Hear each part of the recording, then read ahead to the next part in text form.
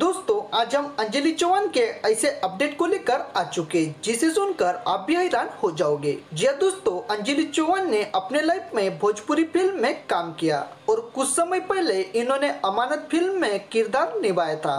और आज उस फ़िल्म का डेट रिलीज़ हो चुका है। तो आज की इस वीडियो में उसी के बारे में डिटेल्स में जानकारी को शेयर करने वाले हैं। वीडियो बहुत ही ज़्यादा इंटरेस्टिंग होने वाले है, इसलिए वीडियो के एंड तक बने रहिए। और चैनल पर नए हो तो हमारे चैनल को सब्सक्राइब ज़रूर करे। तो बिना गवाए वक्त हम वीडियो को स्टार्ट करते हैं। दोस्तों, अंजलि चौहानिया एक गरीब फैमिली से बिलोंग करती है। इसे बचपन से डांस करने का बहुत ज़्यादा शौक था और ये डांस की दुनिया में अपनी अलग ही पहचान बना चुकी है। अंजलि चौवानिया जब स्कूल की पढ़ाई कर रही थी, तब इसने तब इसने सपना बनाया कि इसे भोजपुरी फ़िल्म में काम करना है। इसलिए अंजलि पूरे जुनून के साथ में काम करने के लिए लग चुकी थी। एक बार आम्रपाली दुबे ने अंजलि का डांस देखा। तब आम्रपाली मैम को अंजलि चौहान का डांस बहुत ज़्यादा पसंद आया और उन्होंने अंजलि को फ़िल्म में काम करने के लिए ऑफ़र किया। उसके बाद अंजलि चौहान को रिचा दीक्षित और काजल राघवानी मैम के साथ में अमानत इस फ़िल्म में काम करने का मौका मिला, जिसे देखने के लिए अंजलि चौहान के फैंस बेसब्री से इंतज़ार कर रहे हैं। लेकिन अब आप सभी का इंतज़ार खत्म हो चुका है। जी दोस्तों, अंजलि चौहान का अमानत यह भोजपुरी फ़िल्म आपको 9 सितंबर को शाम छह बजे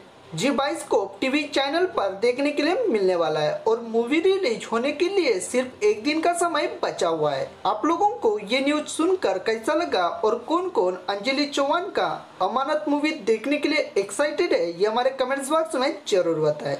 और इसी तरह लेटेस्ट अपडेट पाने के लिए हमारे चैनल को सब्सक्राइब ज़रूर करें। धन्यवाद।